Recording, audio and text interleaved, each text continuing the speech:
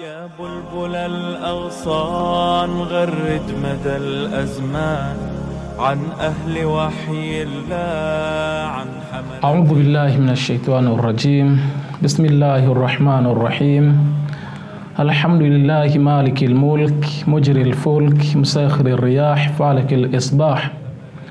ثم الصلاة والسلام على خير أشرف الأنبياء والمرسلين حبيب الله العالمين أبي القاسم محمد وعلى أهل بيته الطيبين الطاهرين ndugu zanguni watazamaji tukiwa bado tuko ndani ya mwezi mtukufu wa ramadhan leo tungependa kugusia kuhusiana na qurani na hii ni kutokana na kwamba masiku haya tuliyomo ambayo tumebaki nayo kumi la mwisho ndiyo masiku ambayo qurani ilishuka.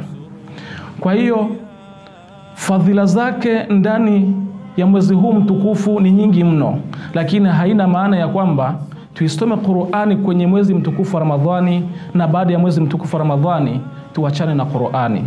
Ndugu zanguni watukufu watazamaji qurani ina fadhila nyingi mno ina faida nyingi mno katika kuisoma kwa leo tutatosheka na hii hadithi moja kutoka kwa abu abdillahi alayhi salam.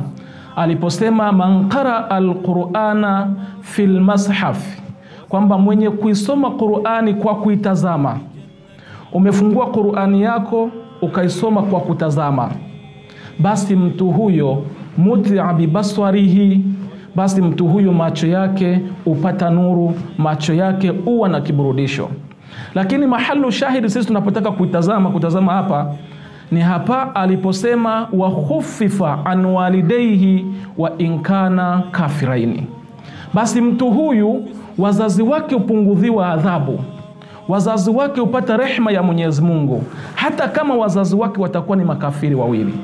Mtu huyu mathalan alikuwa ni kafiri akasilimu akawa mwislamu wazazi wake wakabaki kuwa ni wakristo lakini kwa kuwa anajishughulisha na kuisoma qurani basi mtu huyo wazazi wake upata takhfifu ya mwenyezi mungu subhanahu wa taala hupata rehma ya mwenyezi mungu subhanahu wa taala na mwenyezi mungu waondoshea adhabu kutokana na ile qurani huyu bwana anayekuwa anaisoma. Kwa hiyo ndugu zangu ni watukufu waislamu kusoma qurani ni muhimu sana sisi wenyewe kwa nafsi zetu kujiweka karibu na mwenyezi mungu subhanahu wa taala lakini kuijalia qurani kuwa ndiyo chombo chetu sisi ndiyo maisha yetu sisi tunayotembea nayo wa ilahuna aqulu assalamu alaikum warahmatullahi taala wabarakatuh حملة القرآن في عالم الإنسان